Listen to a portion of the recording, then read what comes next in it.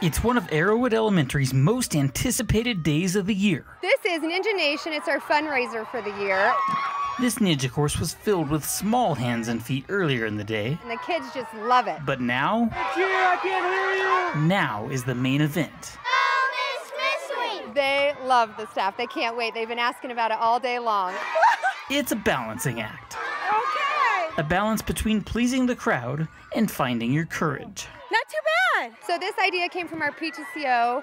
They are a group that comes together and makes just such enjoyable things for the kids, and this was one of those ideas they had. After all the hanging and swinging comes the real test the dreaded wall. Definitely the warp wall. it was very hard. I was shaking. The climb is elevating more than just these adult ninjas. Proceeds from the event will go toward helping students that have fallen behind academically. It's reflex math for our students just with math fluency as well as some interventions in reading and support there. It's a lift for everyone at Arrowwood Nation, ninja or not.